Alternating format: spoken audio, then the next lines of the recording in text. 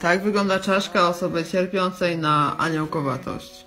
Inna nazwa tej choroby to herubizm. Wiąże się z licznymi deformacjami w obrębie twarzy. Przyczyną jej powstawania jest mutacja. Zmiany te zazwyczaj nie zagrażają życiu chorego. Jednak przez liczne deformacje ci ludzie są często stygmatyzowani.